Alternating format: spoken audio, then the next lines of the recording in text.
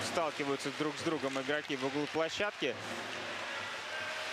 Пережогин. Бросок к воротам. Семенов на и гол.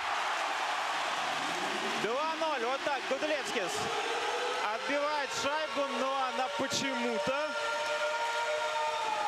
не прижата Гудлевскисом. И более того, отлетает так, что очень удобно Семенову ее дальше отправить в ворота. Восьмой гол Семенова в этом сезоне. Ни одной результативной передачи пока что нету этого нападающего, но забивает исправно. И вот еще один гол от этого форварда. Бросок Пережогина. И видите, Гудлевский так вроде бы тянется ловушкой к этой шайбе. Но как-то очень медленно это делает. Семенов его опережает. Или, может быть, Гудецкий даже не тянулся, а просто не видел, где шайба,